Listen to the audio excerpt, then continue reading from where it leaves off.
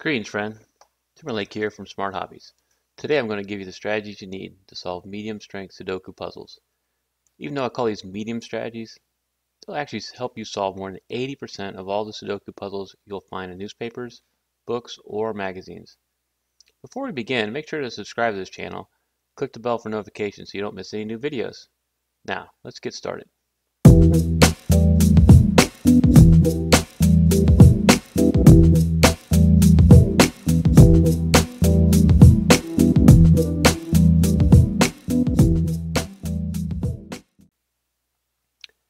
In my Solving Easy Sudoku videos, I explained the three strategies needed to solve easy puzzles.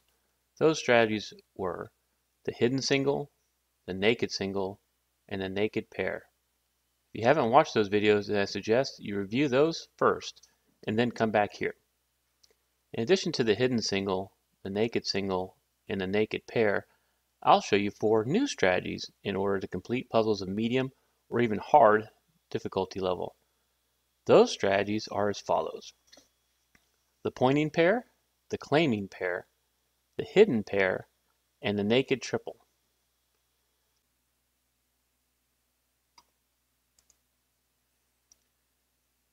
Let's go over some new terminology first before I demonstrate these strategies.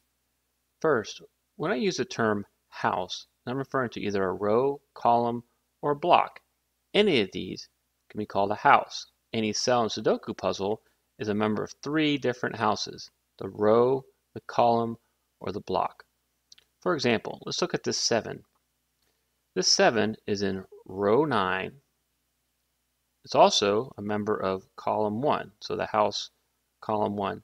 And it's also a member of block 7. So this 7 can be in either, any of those three houses. Column 1, row 9, or block 7. Second, when I say that candidates are locked, then that means they have two houses in common.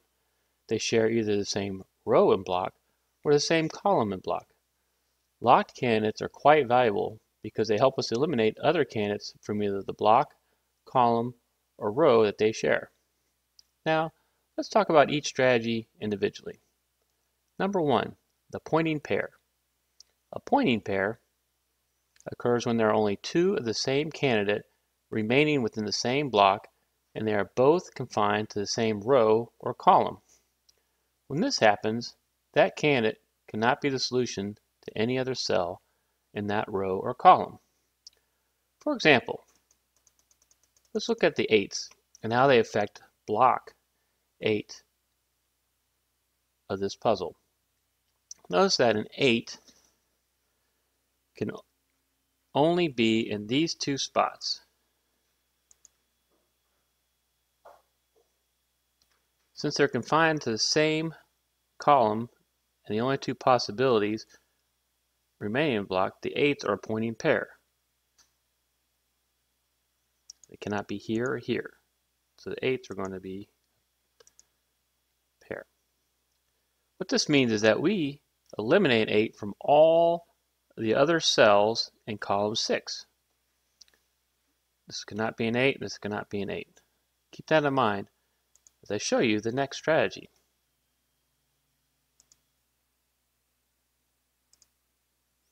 Something else I want you to keep in mind, these 8s, since they appear in both column 6 and block 8, they are locked candidates. Number two, the hidden pair. The hidden pair are two different candidates that can only be the solution to two cells in a row, column, or block. The difference between a hidden pair and a naked pair is that a hidden pair will be hidden among other candidates in those two cells. When this happens, we can eliminate all the other candidates from those two cells. I'd like to make one other distinction. Naked and hidden pairs refer to a pair of two different candidates that work together, while a pointing pair, and as you'll see, the claiming pair refer to two of the same candidate. Apologize for the confusion, although I didn't come up with these names. So in our puzzle, let's put in all the candidates in the cells for row 2. 6, 7, 9 go here. Six, seven, nine go here.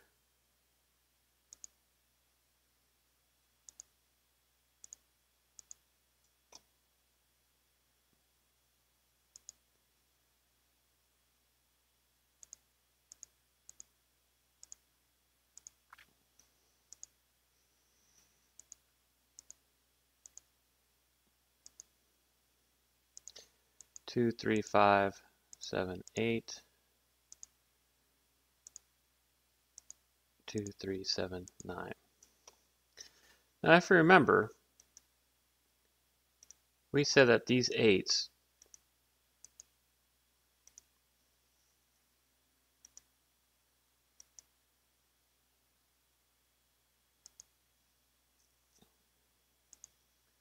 create a pointing pair. So we know we can eliminate the 8 from row 2, column 6. So now let's look at the, the 5s and 8s. They only appear in columns 3 and 5, but since they're hidden among other candidates, they make a hidden pair.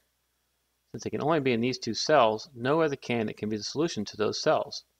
We can eliminate the other candidates from those two cells.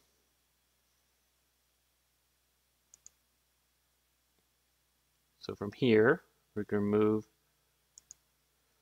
the 2, the 3, and the 7. And from here, we can remove the 3, the 6, and the 9. And then what we find out, if we look across this row, that a 2 can only be left right here in row 2, column 2. So this 2 is a hidden single and solution to itself.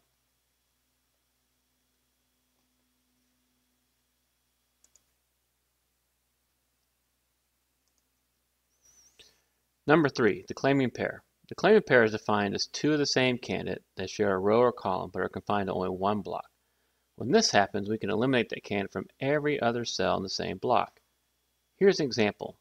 So first, let's add in all the possible candidates for row 5.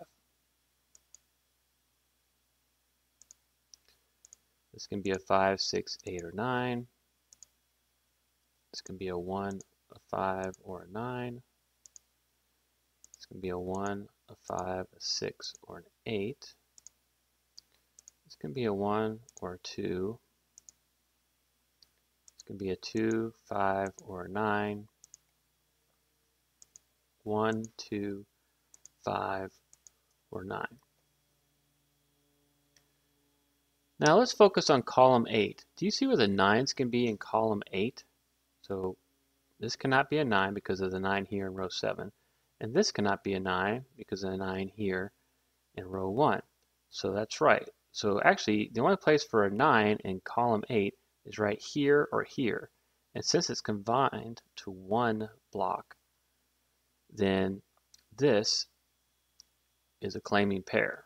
So we can actually eliminate the 9s from the rest of the block. Keep that in mind as we dive into the last strategy. Number four, the naked triple. The naked triple is when three cells are in the same row, column, or block that have only the same three candidates as possible solutions. It is important to note that not all cells must contain all three candidates, but there must not be more than three candidates in the three cells altogether. When this happens, we can eliminate those three candidates from any other cells in their respective row, column, or block. So picking up from where we left off with the claiming pair, let's look again at the possible candidates for row 5. The candidates 1, 2, and 5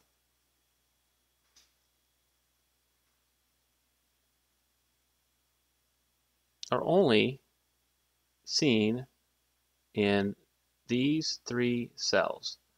So there's no other candidates other than the 1, 2, or 5 here, here, or here. So that makes them a naked triple. So we can eliminate 1, 2, and 5 from the rest of the cells.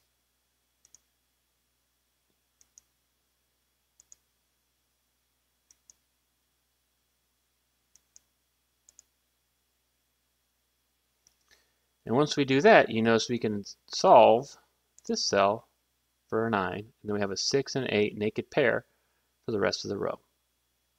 Did all that make sense to you? Which of these have you seen before but didn't know the name? Let me know in the comments below, and don't forget to like and subscribe. In my next video, I'll show you how to solve an entire puzzle using just the easy and medium strategies. In the meantime, you can check out some of my other videos here. Thank you so much for watching.